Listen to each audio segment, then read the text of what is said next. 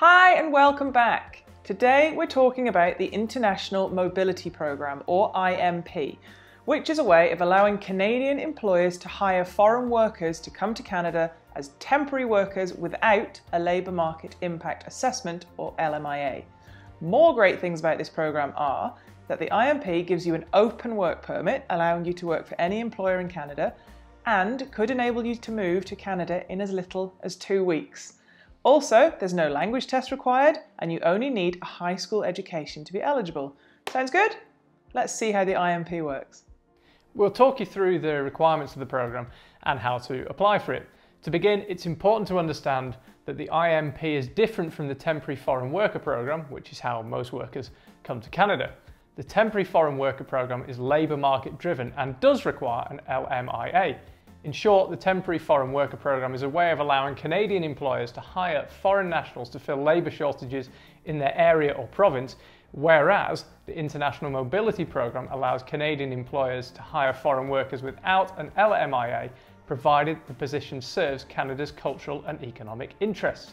Without the need for an LMIA, it means the processing time is considerably quicker, simpler and cheaper than the application process for the Temporary Foreign Worker Programme. To be eligible for the International Mobility Programme, you have to fit into one of the following categories.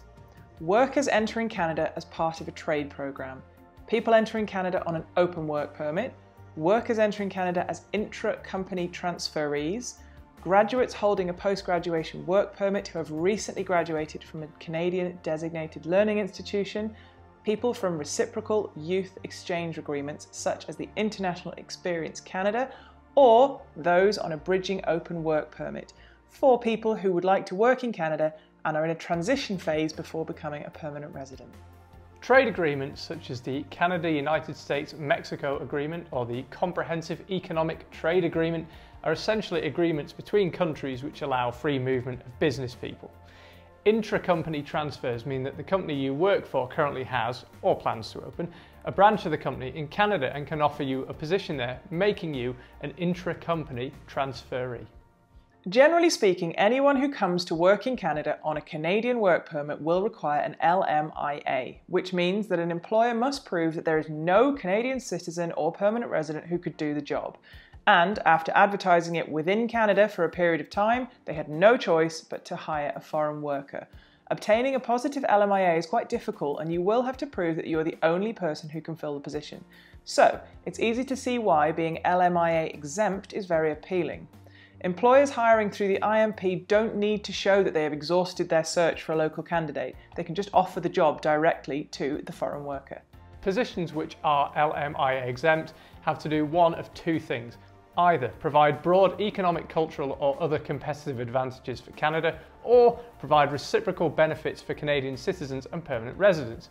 Essentially, you need to either bring skills which are not otherwise found easily in Canada or create jobs or employment for Canadians.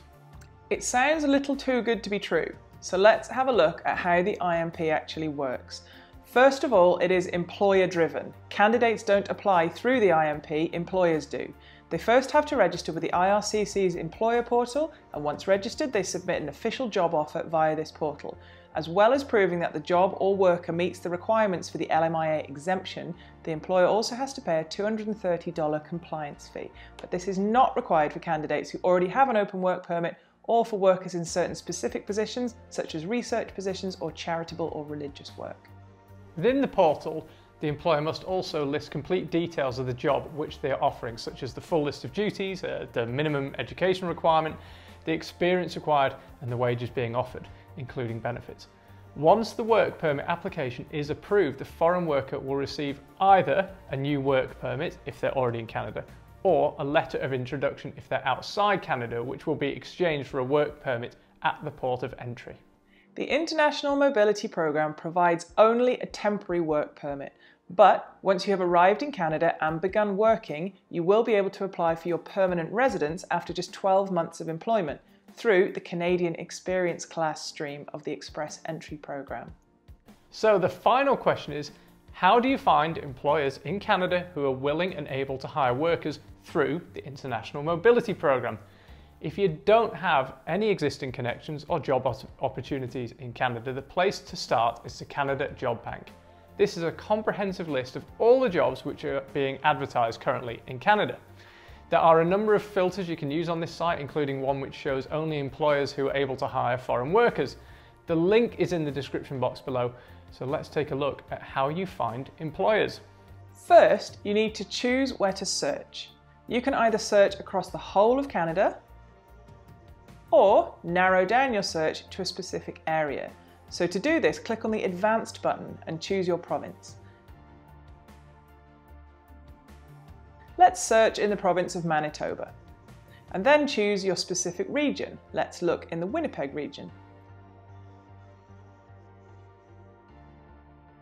Looking at the left-hand side of the screen, scroll almost all the way to the bottom and check the box that says Temporary Foreign Workers. Then scroll back up and click View the Results. Here you can see that you are only viewing jobs from Canadian employers who want to recruit temporary foreign workers. And if we click on the first job, you can see that the box which says this employer has applied for a labour market impact assessment to hire a foreign worker to fill labour or skills shortages on a temporary basis. Here you will find all the jobs which you can apply for as a foreign worker, whilst you are still outside of Canada. For each job posting, you can also see further details like salary, hours, and start date. And of course, if you want to, you can also use the filters to narrow down the search to your field of interest. So, there you have it, the International Mobility Programme, its requirements and how to find an employer. It's a great programme and an extremely quick way of getting work in Canada. Best of luck with your job search and let us know how you're getting on if you're currently looking for a job in Canada. And don't forget to hit subscribe on your way out. See you next time.